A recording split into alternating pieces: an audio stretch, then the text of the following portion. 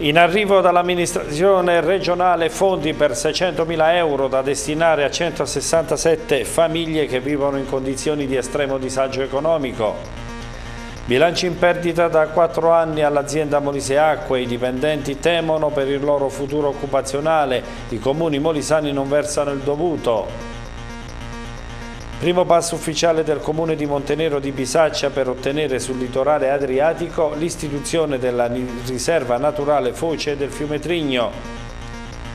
In molte realtà delle due province aule e laboratori scolastici non sono a norma, scelte programmatiche errate e verifiche tardive in diverse situazioni. Un cordiale saluto dalla redazione. Contrasto alla povertà. La Regione Molise ha erogato la somma di 600.000 euro agli ambiti territoriali sociali destinati a 167 famiglie in condizioni di particolare indigenza economica. I destinatari potranno beneficiare per un anno di 300 euro mensili quale sostegno ad alleviare le ristrettezze economiche e a tentare di limitare il divario sociale. I dipendenti della Molise Acque sono preoccupati della situazione economica e amministrativa in cui versa l'ente. La parte finanziaria crea i drammi più forti tra i lavoratori in quanto dal 2013 ad oggi i bilanci sono in perdita per oltre 10 milioni. Le motivazioni dei bilanci in rosso sono probabilmente causate dalla mancata riscossione dei ruoli idrici dei comuni da parte di cittadini che non versano il corrispettivo. La stessa preoccupazione è stata manifestata dai lavoratori precari che da oltre dieci anni prestano servizio alla Molise Acque. Il personale ha intanto proclamato lo stato di agitazione. Via libera all'istituzione della riserva naturale Foce del fiume Trigno. Il comune di Montenero di Bisaccia ha messo in atto il primo passo ufficiale teso a preservare il paesaggio sull'Adriatico. Gli amministratori del comune di Montenero di Bisaccia hanno proposto l'istituzione di una riserva naturale denominata Foce del fiume Trigno, una iniziativa condivisa dalle associazioni ambientaliste che nasce dall'esigenza di tutelare e valorizzare un sito di interesse comunitario per l'importanza degli habitat naturali e specie presenti, tanto da essere oggetto importante di studi ornitologici sulle rotte migratorie dei volatili. L'attenzione alla sostenibilità ambientale deve essere un caposaldo dell'azione amministrativa. Da sottolineare il buon andamento della raccolta differenziata aumentata del 4% e la fattiva collaborazione con la protezione civile, volta a favorire la tutela dell'ambiente naturale e la salute delle persone. L'iter burocratico passa adesso alla Regione Molise. Con il piano particolareggiato della riserva, conclude l'assessore Simona Contucci, il comune di Montenero potrà accedere in futuro anche a finanziamenti europei che consentiranno di riqualificare e preservare il paesaggio naturale, consentendo l'attivazione di turismo rispettoso dell'ambiente e a misura d'uomo. La Regione ha approvato le misure di accompagnamento straordinarie per le diverse situazioni occupazionali che si registrano nel Molise. La concessione dei trattamenti di cassa integrazione in deroga sarà accordata per un ulteriore periodo di tre mesi nel caso i destinatari abbiano già beneficiato dell'integrazione prevista dalla cassa integrazione nel corso di quest'anno e per un periodo di sei mesi nel caso di richiesta di prima una concessione. E torniamo a parlare del mondo scolastico, tutta da risolvere la grana dei doppi turni alla scuola elementare Don Milani di Campobasso. Le soluzioni proposte da Palazzo San Giorgio non convincono le famiglie.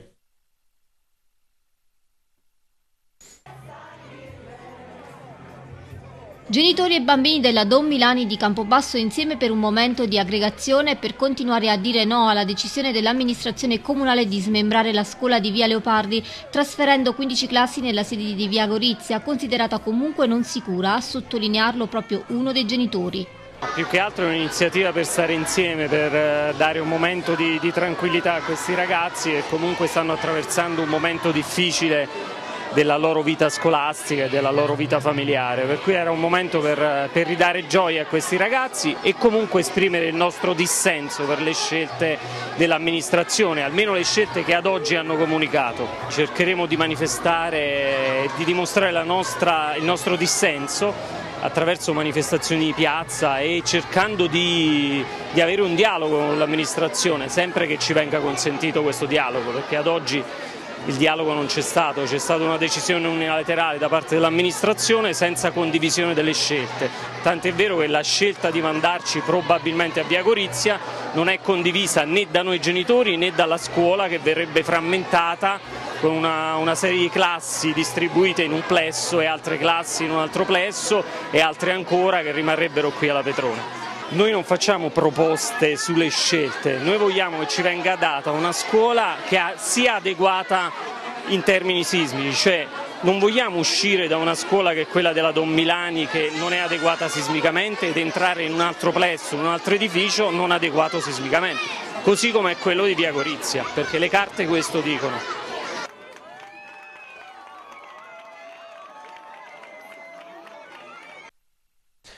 E intanto i genitori della scuola Don Milani esprimono delusione per la scelta del sindaco Battista di voler trasferire gli alunni nella scuola di via Gorizia. Sono infatti contrari perché tale edificio è stato costruito 20 anni prima della Don Milani che dopo i lavori non ancora iniziati del secondo intervento raggiungerà una resistenza all'accelerazione da collasso pari a poco meno il 51% di quella prevista dalle norme. La soluzione alle troppe emergenze che riguardano l'edilizia scolastica ha bisogno di un confronto aperto a tutte le componenti e della presenza dei vertici dell'ufficio scolastico regionale. Vediamo. La CGL chiede da tempo alla classe politica di intervenire in maniera adeguata sulle criticità presenti nel sistema di istruzione della Regione. La mancata programmazione sull'edilizia scolastica ha come risvolto immediato da settimane il caos. Siamo infatti di fronte ad una continua emergenza che si sta affrontando con strumenti inadeguati. Studenti, docenti e personale tecnico devono poter operare in aule sicure. Il sindacato condanna la situazione emergenziale in cui versa l'edilizia scolastica in molte realtà molisane. A Campobasso in particolare centinaia di alunni sono stati costretti nell'ultimo anno ai doppi turni, con frequenza delle lezioni in orari serali, dagli effetti devastanti sotto il piano pedagogico e delle relazioni sociali. La giunta comunale fino ad ora non ha trovato adeguate soluzioni al problema prefigurando spostamenti a catena da un edificio all'altro oppure annunciando l'utilizzo di stabili da riadattare senza certezza sui tempi. Anche la CGL boccia quindi la scelta di collocare gli alunni della scuola primaria Don Milani nei locali dell'Istituto Dovidio di Via Gorizia, una scelta che non risolve il problema nell'immediato considerati i tempi di consegna dei locali e l'impossibilità di dare risposte a tutti gli alunni e determina criticità anche per il futuro. La federazione chiede quindi ai vertici della prefettura di adoperarsi per verificare altre soluzioni praticabili per uscire dall'emergenza, convocando assieme tutte le parti interessate e che veda la presenza dell'ufficio scolastico regionale.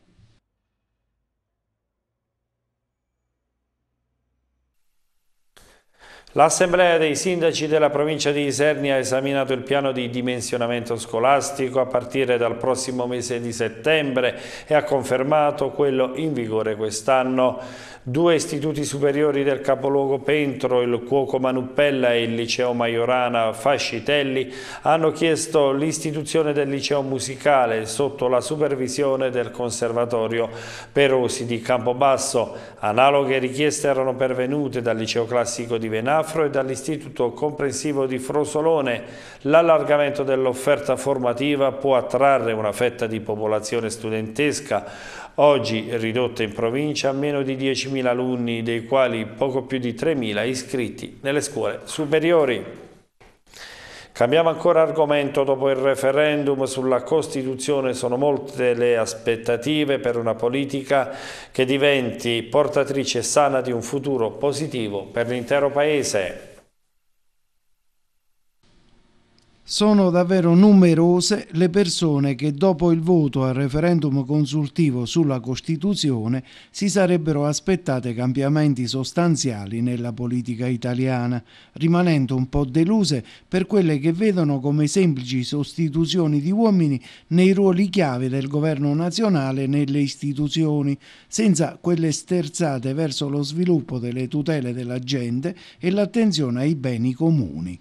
Intanto, continuando nell'opera di registrare le opinioni a riguardo da parte dei politici e dei cittadini molisani, ascoltiamo l'ex consigliere regionale Italo Di Sabato, oggi responsabile nazionale dell'Osservatorio sulla repressione. Per fortuna è stata bloccata la riforma costituzionale che aveva proposto il governo Renzi.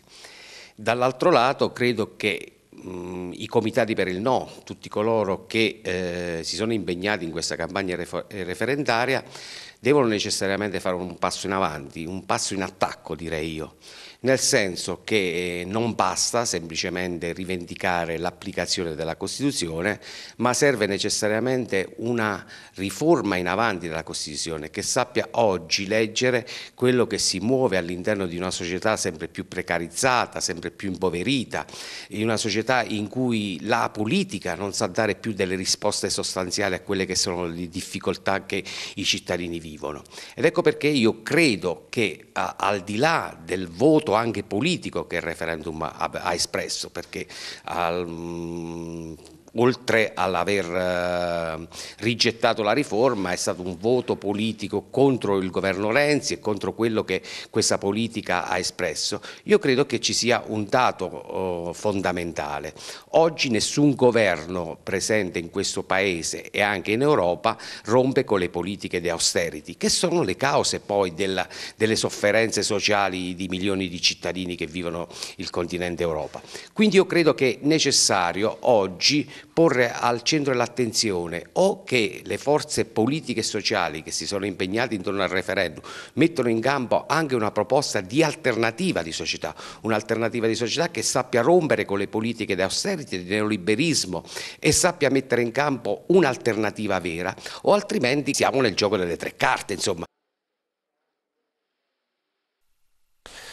Il presidio Vietri di Larino diventa ospedale di comunità, il San Timoteo è solo un ramo dell'hub del Cardarelli. I provvedimenti del commissario Paolo Frattura confermano che il Basso Molise esce ridimensionato rispetto alla nuova mappa sanitaria. La denuncia del capogruppo del Partito Democratico alla regione Francesco Totaro a far da padrone gli ospedali dei due capoluoghi e di, quello di Agnone e cinque strutture private, Villa Maria e Fondazione Giovanni Paolo II a Campobasso, Villa Ester a Boiano, la Gea Medica di Isernia e il Neuromed a Pozzilli.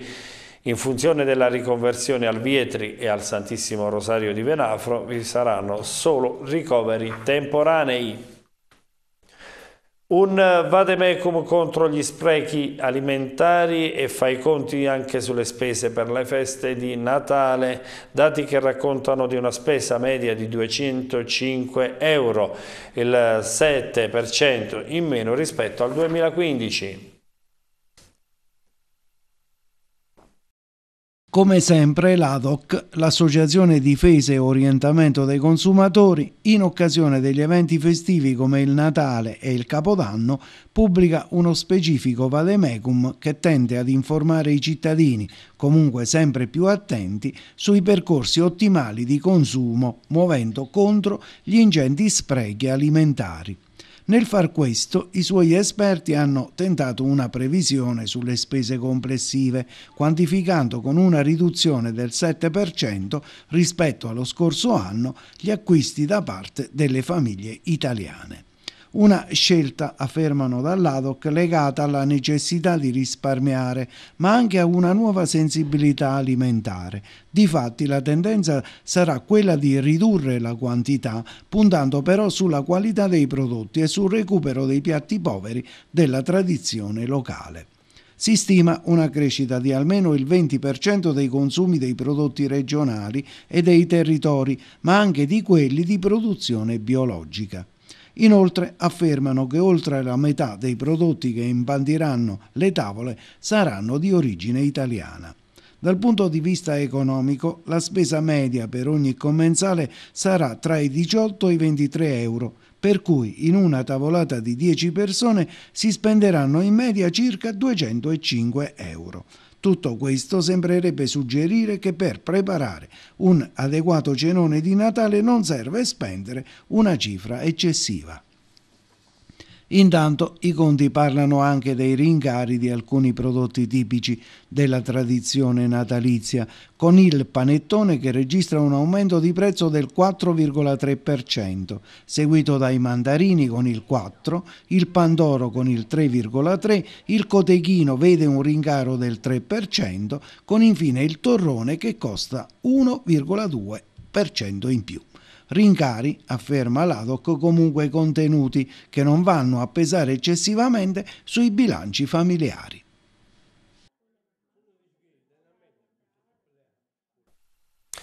Passiamo alla cronaca. Nelle campagne di Montenero, Tavenna e Petacciato gli agenti del corpo forestale hanno riscontrato diversi abusi.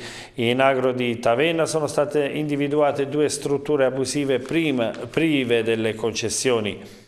Nel comune di Petacciato invece sono stati denunciati i titolari di due ditte responsabili di abbandono di rifiuti in località Padula di Montenero di Bisaccia. Il titolare di un'impresa vastese è stato deferito per smaltimento illecito di rifiuti e deturpamento di bellezze naturali.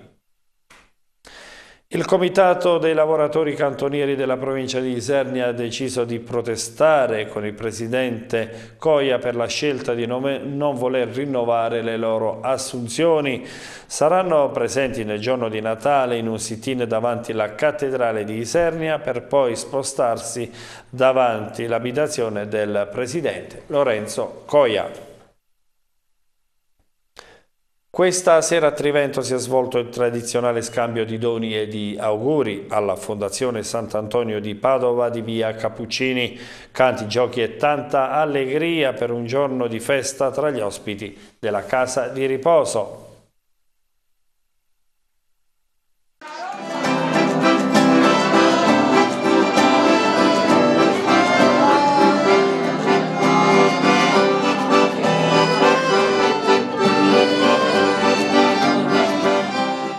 Abbiamo diciamo, eh, organizzato questo evento non come fondazione, è stata la Proloco ad inserire questo evento eh, per scambiare gli auguri con i nonnini della nostra casa e a questo proposito devo ringraziare eh, la Proloco per aver inserito nel eh, cartellone delle feste natalizie l'evento di oggi presso la nostra fondazione. Alla fine di questa manifestazione abbiamo eh, scambiato eh, con i nonni e con alcune persone che ci danno una mano all'interno di questa fondazione eh, dei doni.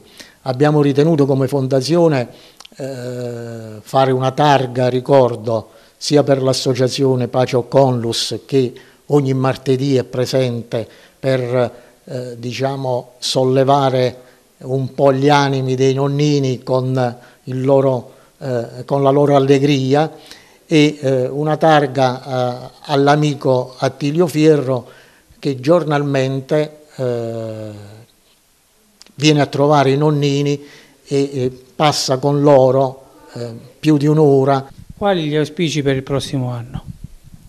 Ma noi eh, stiamo avendo veramente un grosso riscontro eh, da, dal mercato, chiamiamolo così, perché eh, abbiamo molte richieste e purtroppo a molti dobbiamo eh, dire di no perché eh, la struttura eh, non ci consente di avere posti in più.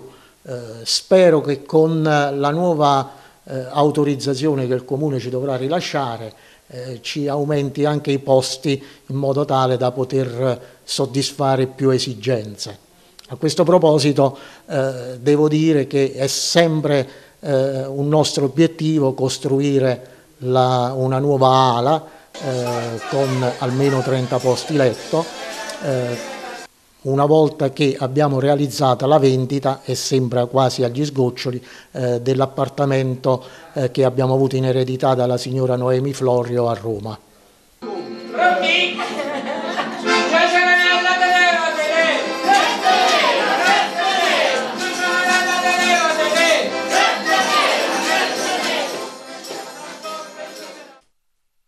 Diventa operativa ad Agnone la Fondazione Atene del Sannio, punto di riferimento dell'amministrazione del sindaco Marco Vecchio per la valorizzazione del turismo, tradizioni artistiche e arte orafa. Franco Paolo Antonio è il presidente della Fondazione, nata lo scorso anno.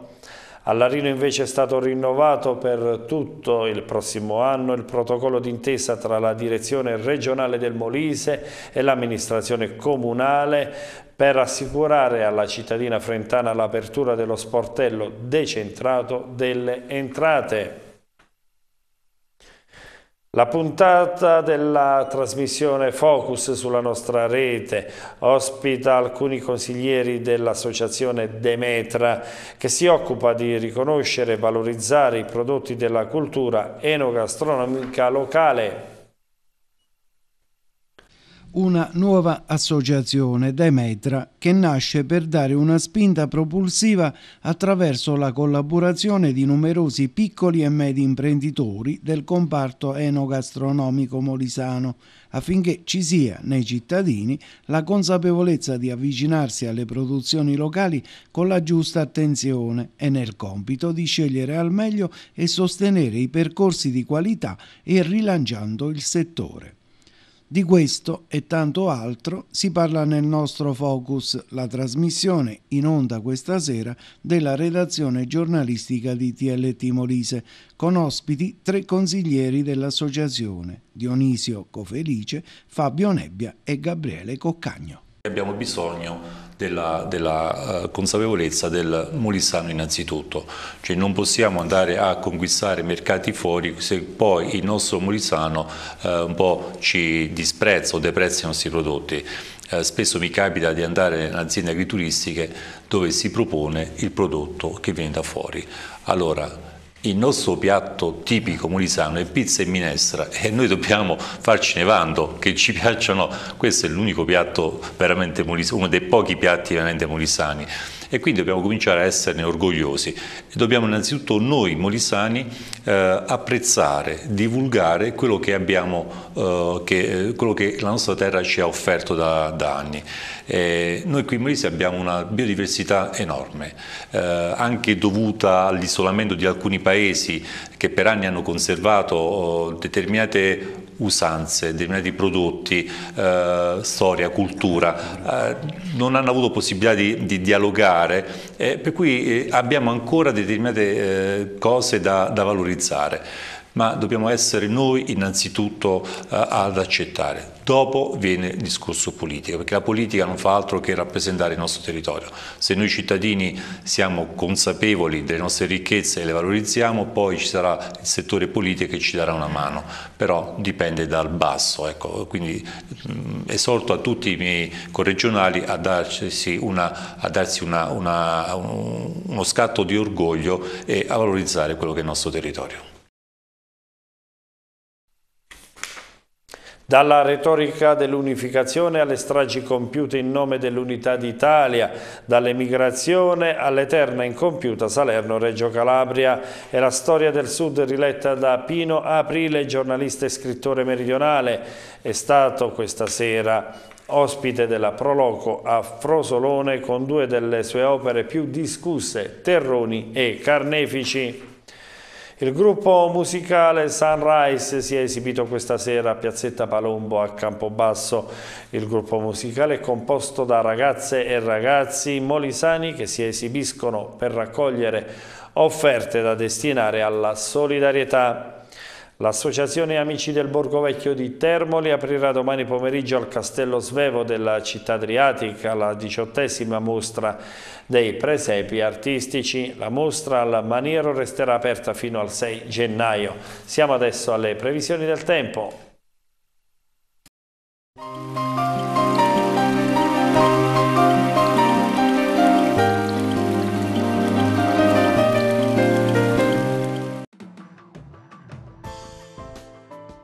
Cielo prevalentemente soleggiato oggi sul Molise, poco nuvoloso dalla sera. Le temperature sono comprese tra la minima di 4 gradi a Campobasso e la massima di 12 a Termoli. Ventilazione variabile, Adriatico centrale poco mosso. Domani mattina sulla regione il cielo si presenterà parzialmente coperto. Valori climatici stazionari, venti settentrionali.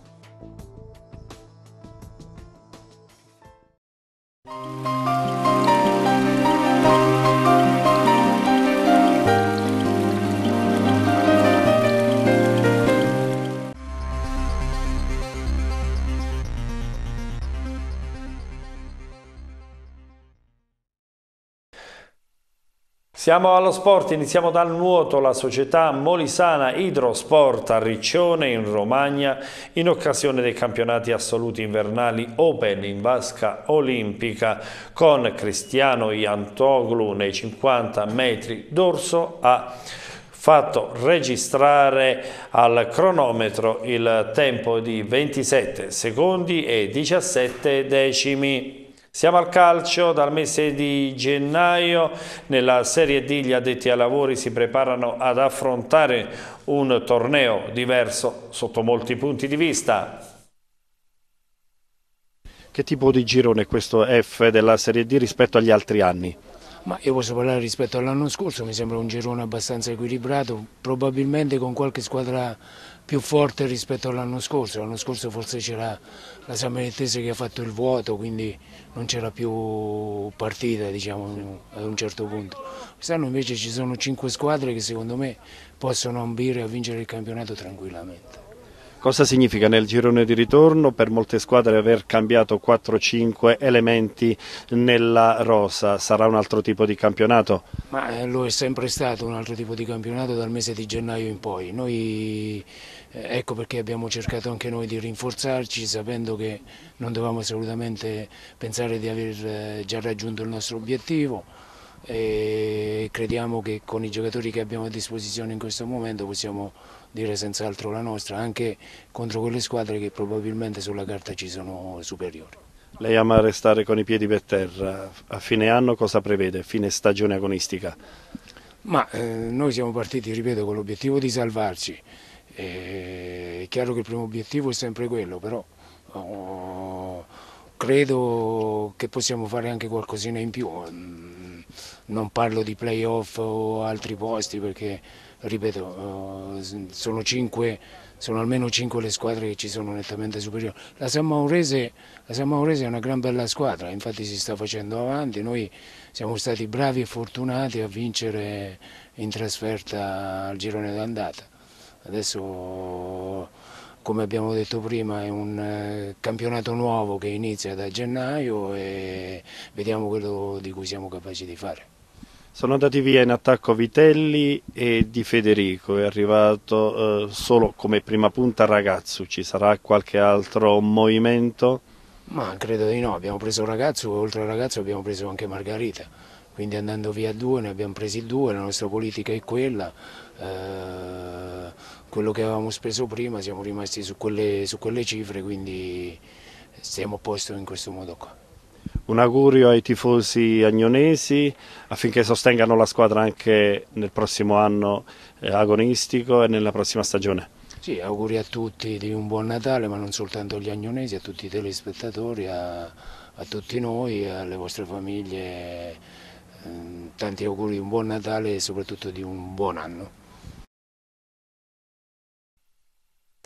Ancora calcio, a Boiano circa 200 ragazze sono state le protagoniste della seconda tappa del Girls Football Open Day, l'iniziativa ideata dalla FIGC per promuovere il calcio giovanile femminile in tutto il territorio nazionale.